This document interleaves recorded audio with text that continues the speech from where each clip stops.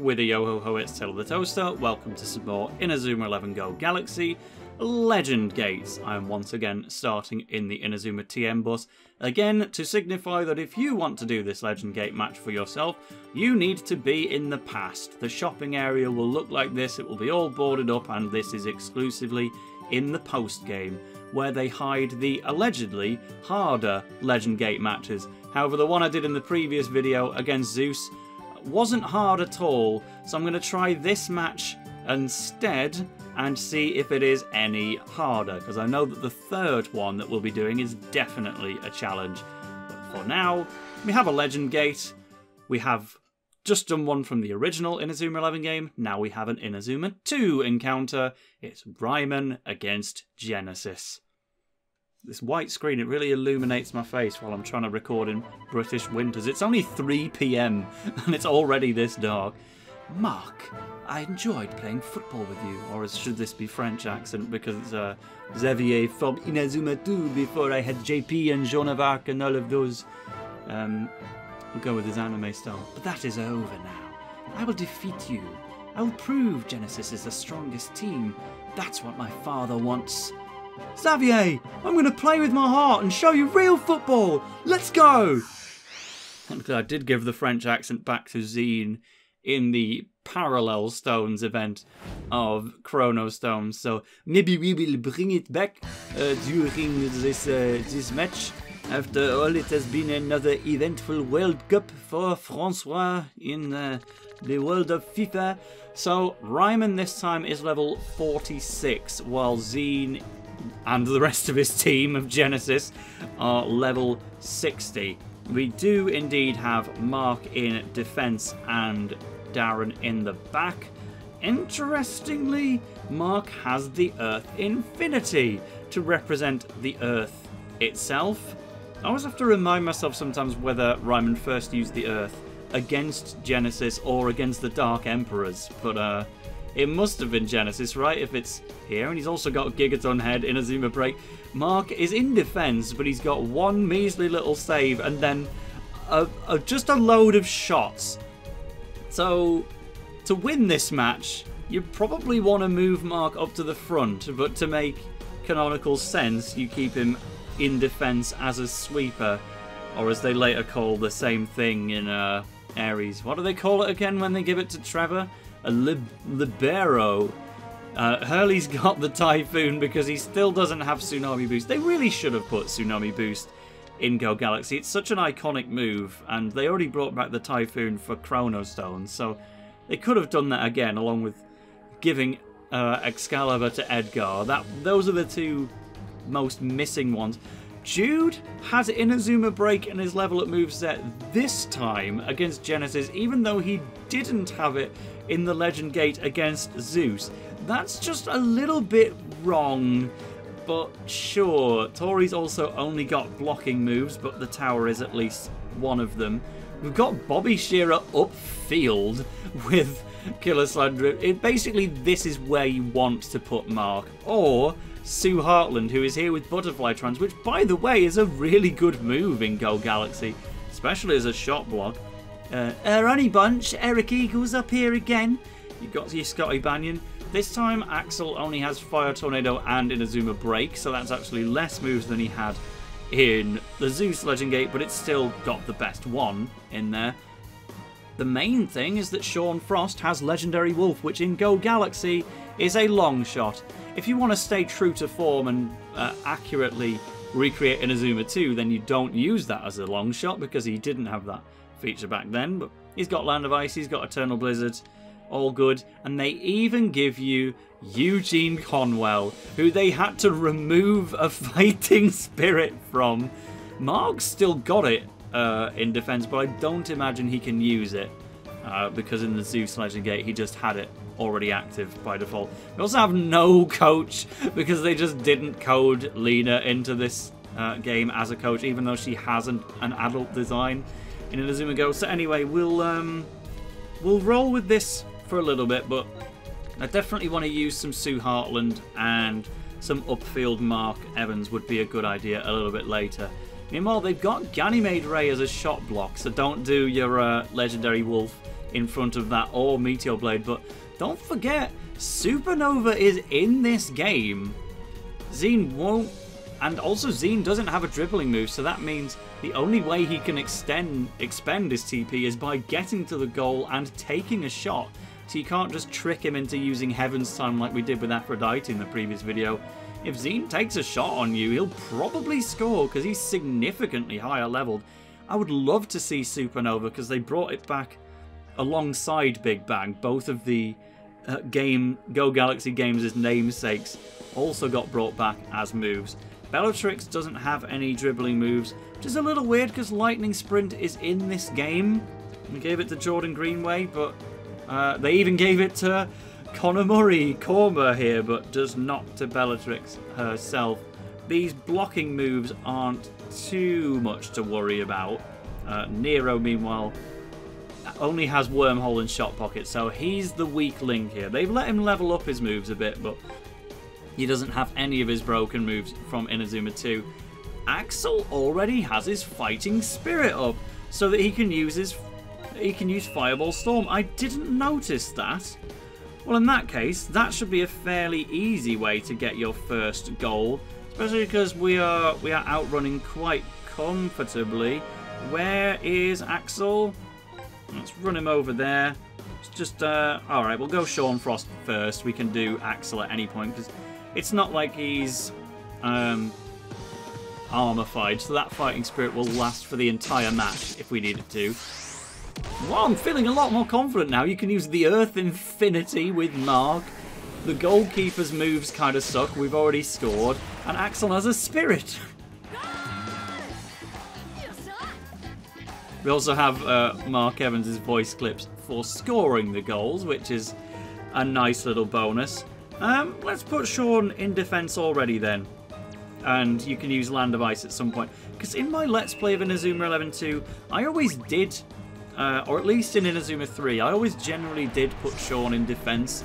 That's where I generally preferred to have him. And that's just a personal preference thing because I always uh, like to give defenders some spotlight in Inazuma. It's uh, again I mentioned in the Blue Lock video how that gets around the issue of defenders not getting as much spotlight in football by just making every single character a forward. But here in Inazuma, the defenders, from time to time, they deserved a bit more love than they got.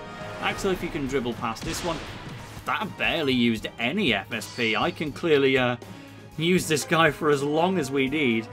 But that is fine, because if I can build quite a comfy amount of goals. You only get to use Fireball Storm once. We can't heal his FSP exactly, but 1,029 is plenty. He didn't even try to stop it.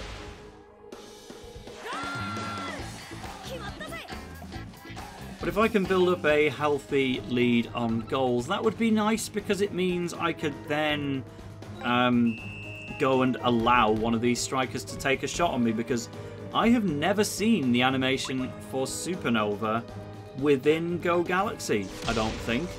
Or at best it's been years ago in potato quality and I've long forgotten. I think I've seen Big Bang, but um, both of those moves, from my understanding, are really hard to unlock in this game and they don't give it to many characters, but they are most certainly in here. A, to reference the name of the game, Go Galaxy, Big Bang and Supernova, but also um, just so that Genesis can use it. They generally try to make sure that whenever they bring back an old character or an old team, they have access to at least one of the moves that made them brilliant. Shame for Hurley Kane, they decided it would only be the Typhoon, and Edgar Valtinas was a strong exception to the rule.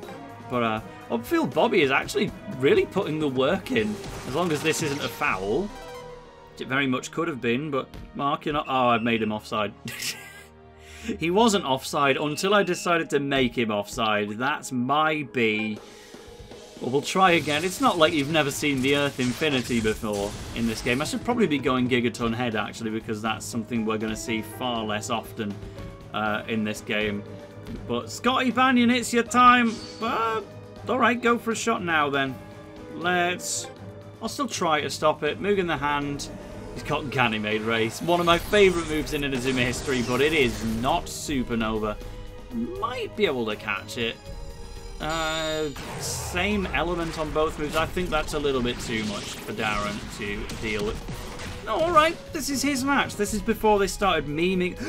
Did I just pass that to Xeno? Nearly messed that one up big time.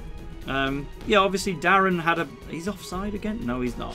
Darren had a definite fall from grace in the anime, to put it politely. And in the even in the games, they don't put him in goal for Dark Emperors.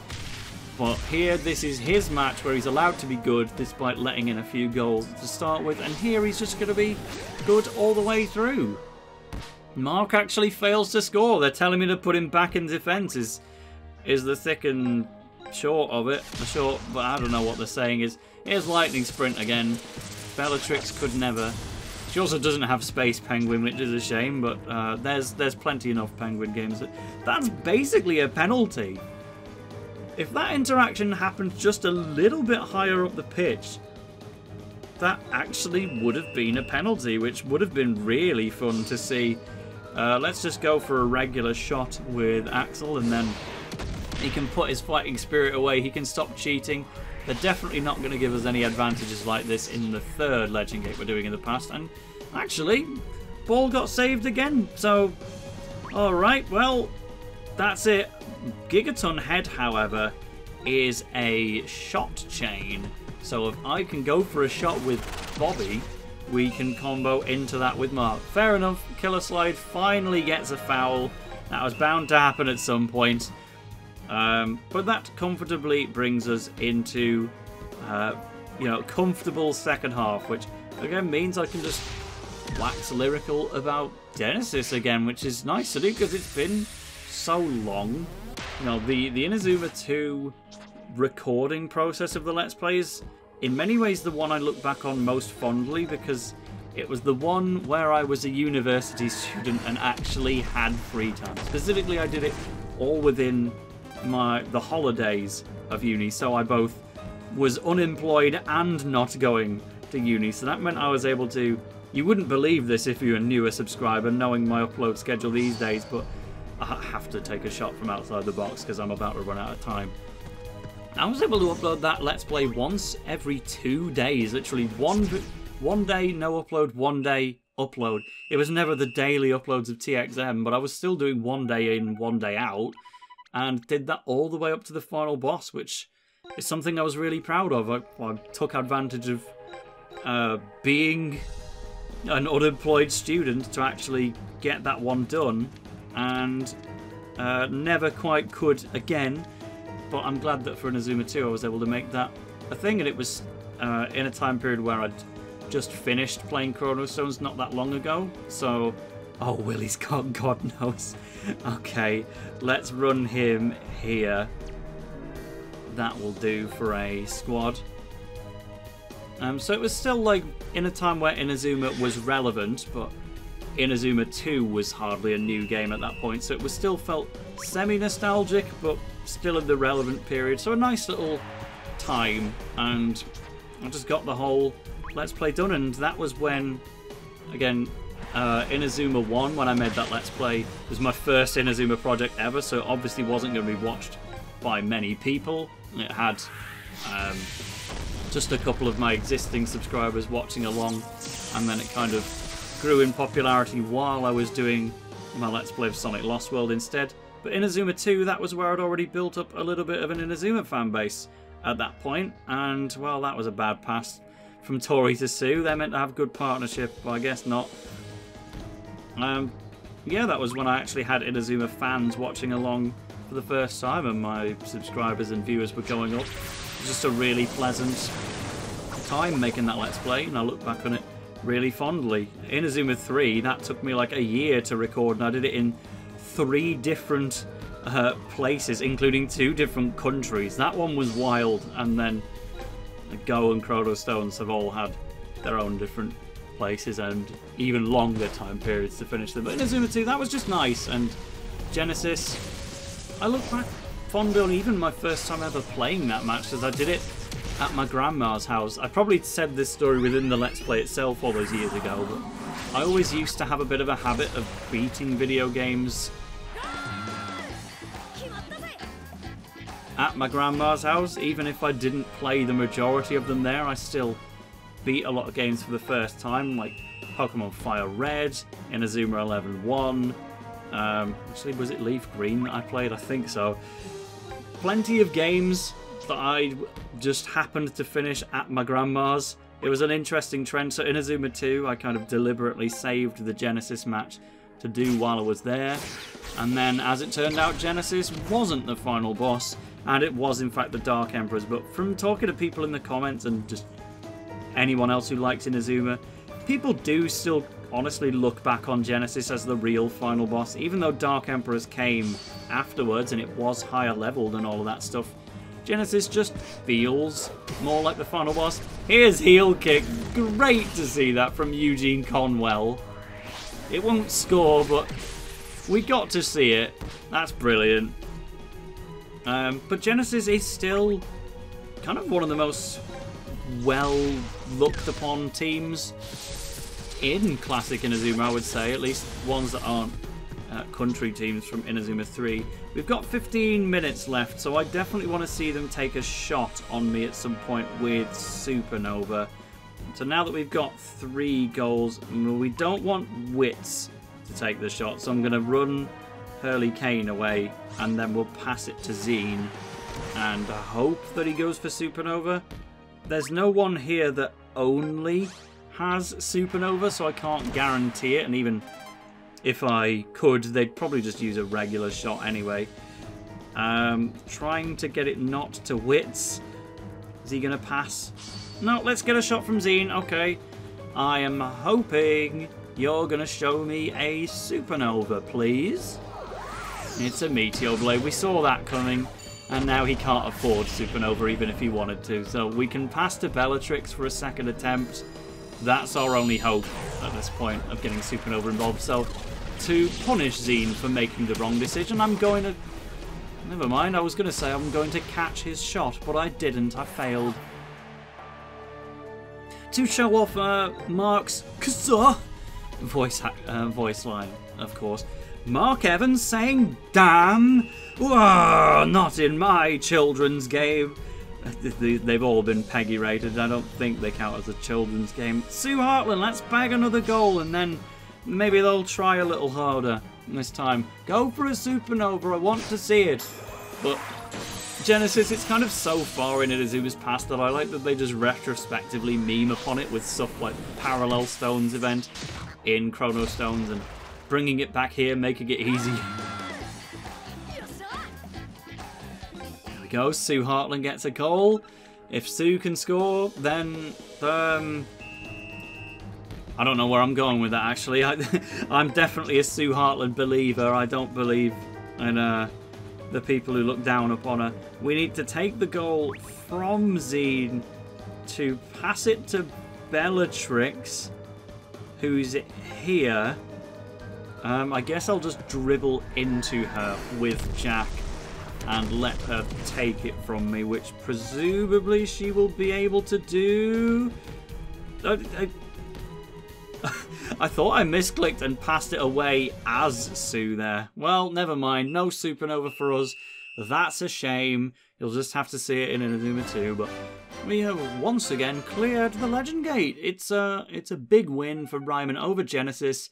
We've beaten the game, except we haven't because we've got to go beat the Dark Emperors who, surprise, surprise, are not coded into Inazuma 11 Go Galaxy.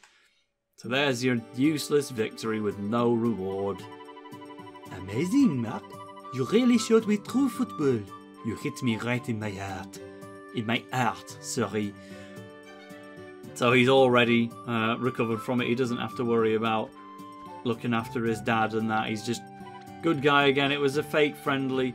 Who's in this uh, battle pal pack society? We don't have a coriander colon or reference books. We've got a river cruise but not a hilarious movie. Uh, we were so close to get getting Irving Gusher, but we will not. There we go. But oh, not for White. I mean, I've got 31, which is quite a lot. Philharmonic. That he could have been our guy. That would have been great, actually. But never mind. We could have Minnie, the goalkeeper. Where else is she called Minnie? Ricardo Tamami. Well, anyway, we beat Genesis. The next occasion will be, uh, again, a slightly harder occasion than the last two. No free fighting spirits, an even bigger level disadvantage. In the last two videos, we beat Legend Gates from Inazuma 11 1 and 2. In the next one, we're going to take on this Inazuma 11 3 team. Catch you then.